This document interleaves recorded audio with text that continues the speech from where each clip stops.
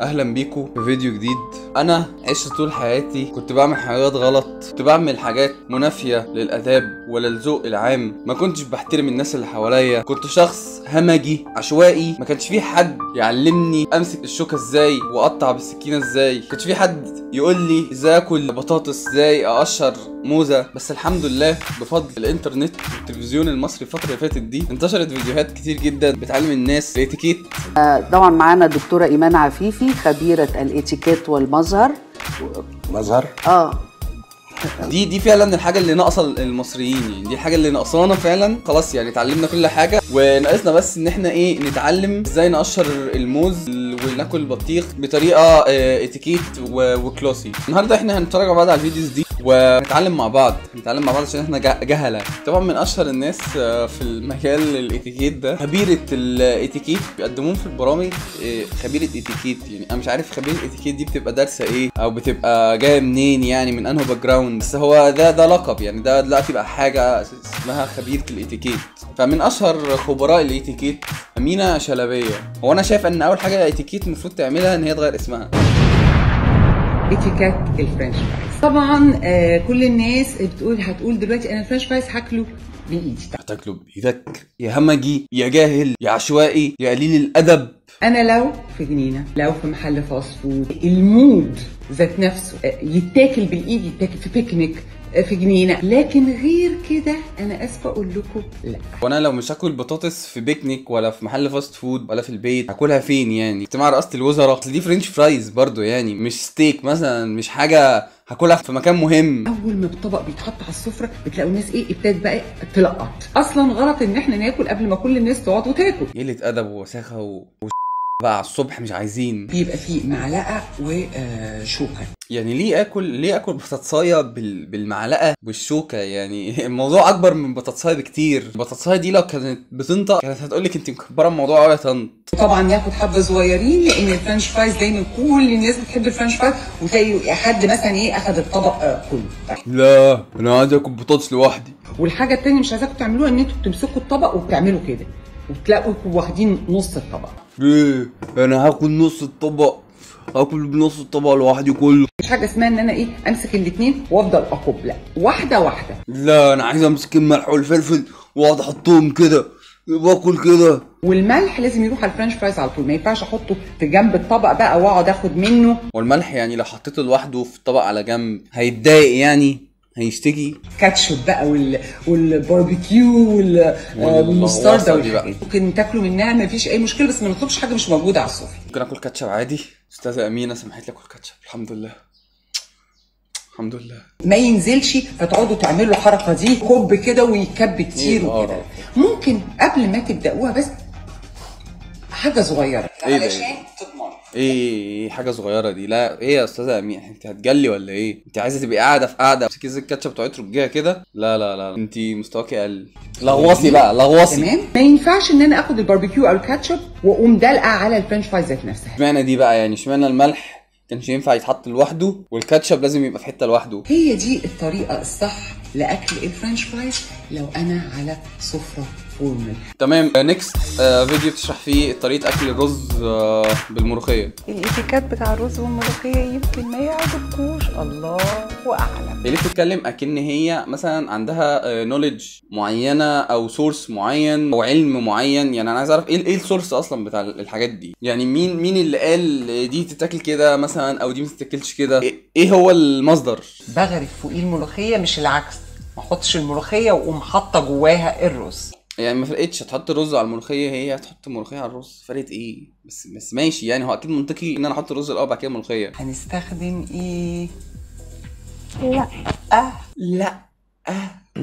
هو رز هو رز. ليه مش هاكله بمعلقة؟ ليه مش هاكل رز بمعلقة؟ مين هيتضايق؟ يعني مين هيتضايق لو أنا أكلت رز بمعلقة؟ لا. آه. الشوكة والسكينة. في الطريقة دي إن أنا بحط شوية على الشوكة وباكل أوكي؟ أو لو عايزة ممكن أعمله كده هو زي الرز بالظبط. على ظهر الشوكة يعني إيه المنطق في كده؟ أنا لو في حد قاعد ياكل آه، الرز بالشوكة قدامي أنا هترعب فشخ. ما أنا مش هبقى مستريح بصراحة. يعني دي طريقة أكل التليل القتله الوجبة اللي بياخدها إيه قبل ما يقوم يشرح الجثة. عامة بقى عايز أقول لك حاجة يا أمينة. اللي انت بتعمليه ده قرف. المفروض آه، ما اكلش الرز بالمعلقة ولا اكله بال... بال... بالسكينة والشوكة عشان ده برضو قرف. ممكن الحاجات دي تعمل أصوات. المفروض إن أنا أحضر أرواح وأستحضرها. واخليها تجيب الطبق واخليها تجيب الرز كده طيره كده في الجو وتحطه جوه بقي. من غير ما المس أي حاجة أو أمسك أي حاجة. هي دي الطريقة الصح. هي هو ده الاتيكيت. إنك تاكلي الأكل من غير ما تلمسيه. ارتقوا بقى. عايزة آكل العيش ما ينفعش آخد العيش كده. اهو وأعمل كده واقطم وأعمل كده واقطم ولا ينفع آخد العيش وأفرفته جوه الملوخية. لا انت كده بقى بتلعبي في ثوابت ومسلمات مصرية قديمة متعودين عليها من زمان لحد هنا وكفاية. وهي دي الطريقة الصح لأكل الملوخية. فكرة برضه إن إحنا بنتكلم على ملوخية يعني أكلة شبه شعبية تقريبا. يا هتاكلها في البيت أمك هتبقى عاملاها. يا هتاكلها عند البرنس. فهو مفيش سيناريو آه، هتتحط فيه هتبقى محتاج إن أنت تاكل الملوخية بالطريقة ال- ال- المعاقة دي يعني. next الطريقة الصحيحة لشرب الشاي وأكل البسكوت. النهارده هنشرب شاي وبسكوت. ناكل بسكوت إزاي؟ ونشرب الشاي إزاي؟ الطريقة الصح لشرب الشاي؟ إنك تشربه بالشوكة والسكينة. تحط الشوكة في الشاي وتقعد تشرب. أنا لو عندي بسكوت كبير باخده بمساكة الحلو وبحطه في الطبق. وعايز أعرف إيه أداة التعذيب دي؟ يعني دي أكيد مش انسب طريقة إن أنا أمسك بيها الحاجة. شكلها مرعب. يعني لو كانت مسكتها بإيديها كان هيبقى أرحم أنا متأكد. لكن البسكوت الصغنطوط ممكن آخده وأكله على طول. إيه؟ انت عايز تمسكي البسكوت الصغير بايدك وتاكليه على طول؟ إيه القرف ده؟ لا لا لا, لا. أنا مستاء. أنا منزعج. أنا أنا أنا ما فيش اتيكيت خالص بصراحة. تمسكه بإيديها و... وت بإيديها كده وتحطه كده على بقها كده مرة واحدة. إيه القرف ده؟ لا لا لا لا لا لا. أمينة you've you've bust the limits. الحركة المفضلة بتاعتي قاعدين وسط ناس ألاقي حد مسك البسكوتاية وابتدى إيه؟ يسقسق في الشاي لما نقعد نعمل كده أوبا حصل إيه؟ وقع جوه الشاي انت ما بتعرفيش تسقسقي انت ما عندكيش sense السقسقه دي مشكلتك مش مشكلتنا. في دراسات معمولة عشان تحدد نسبة السقسقه ال- ال- الـ safe اللي تخلي البسكوتة ما تتكسرش. العلم تقدم وعمل احتياطات. ذنبنا مش ذنبنا إن انت جاهلة بالحاجات دي. next إتيكيت أكل الموز. الموز ناكل الموز إزاي؟ ليه إن هي بتكلم طفل عنده ثلاث سنين؟ بتكلم طفل لسه بي... بيتعلم المشي. بص يا حبيبي أنا هعلمك النهارده إزاي تعمل بيبي في ال potty. يعني إيه ناكل موز إزاي؟ أكيد هنقشر. صح بس ده لو أنا قاعدة في جنينة زي ما أنا قاعدة. ده لو أنت قاعد في جنينة الحيوانات. لو أنت قاعد عند يا مهزأ يا عشوائي. لكن لو في مكان formal يعني أنا لو في business meeting أو في مكان شغل. ليه حد هياكل موز في business meeting أستاذ محمد ال- ال presentation بتاعت حضرتك آه، كويسة جدا. أنا شايف بس إن أنت آه، محتاج آه، تشتغل عليها أكتر من كده. بحط الشوكة في نص الموزة وببدأ أفتح الموزة من النص. تعمل عملية لل- للموزة. وبقطع الناحية التانية كمان. موضوع بسيط جدا ده لو أنتوا طبعا في business meeting وكده. موضوع فعلا لو انت في business meeting سهل جدا. يعني انت هتسيب بقى ال business meeting والناس وتقعد بقى تعمل الهبل ده. ده فعلا حاجة طبيعية جدا محدش هي... هيستغربك خالص ولا يحس إن انت بتعمل حاجة غريبة. قاعد بتقطع موزة بالشوكة والسكينة. كمل يا معلم انت شكلك طبيعي جدا.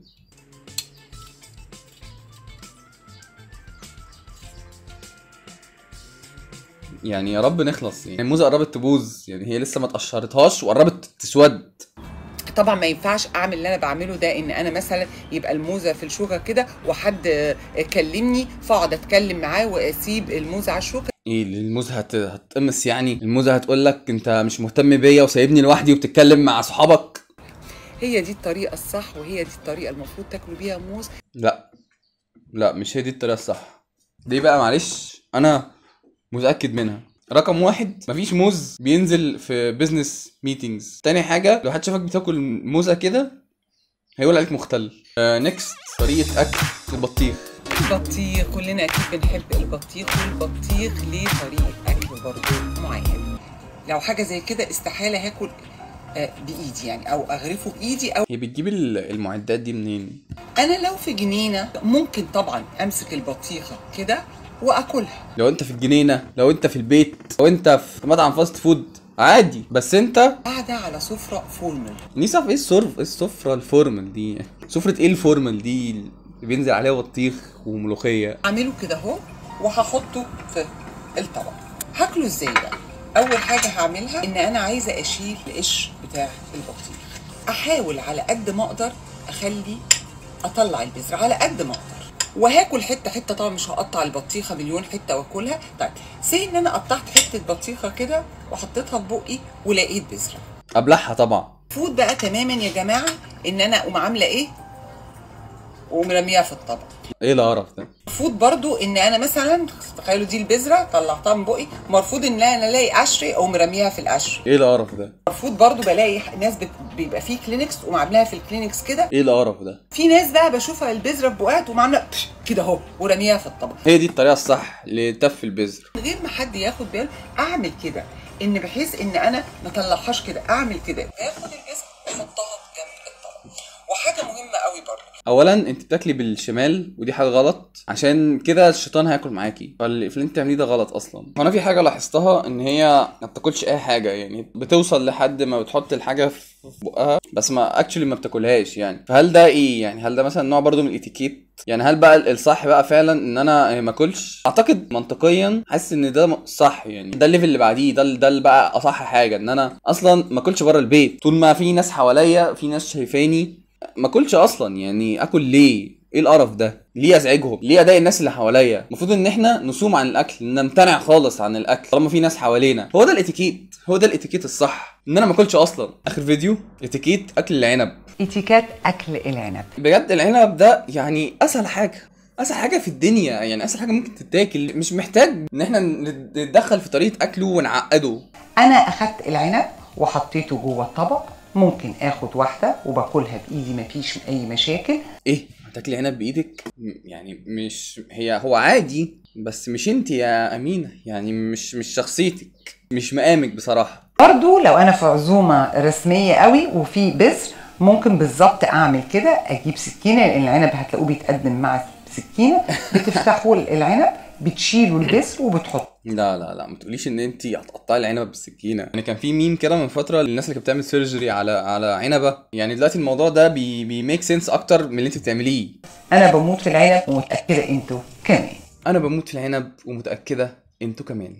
أمينة شلباية admin group هوانم جاردن سيتي وبكده نكون وصلنا لنهاية الفيديو. متنساش تعملوا آه، like و subscribe و comment ودايما دايما قبل ما تاكلوا قبل ما تشربوا أي حاجة تخيلوا إن أمينة شلباية قاعدة قدامكم وبتتفرج عليكم. حاولوا بقدر الإمكان إن أنتوا آه، ما ما تخذلوهاش. وبس. أشوفكم في فيديو جديد. و bye bye.